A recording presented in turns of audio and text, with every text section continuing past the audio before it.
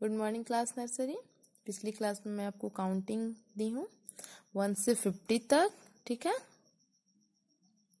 और आज आपको लिखना है फिफ्टी वन टू सेवेंटी तक, ठीक?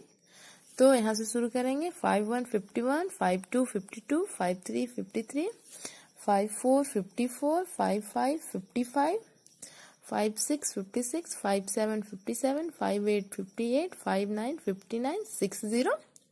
Sixty six one sixty one six two sixty two six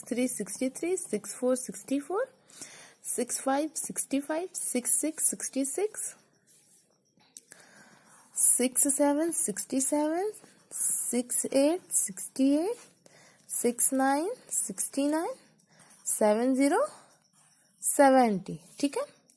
तो इतना आपको लिखना है।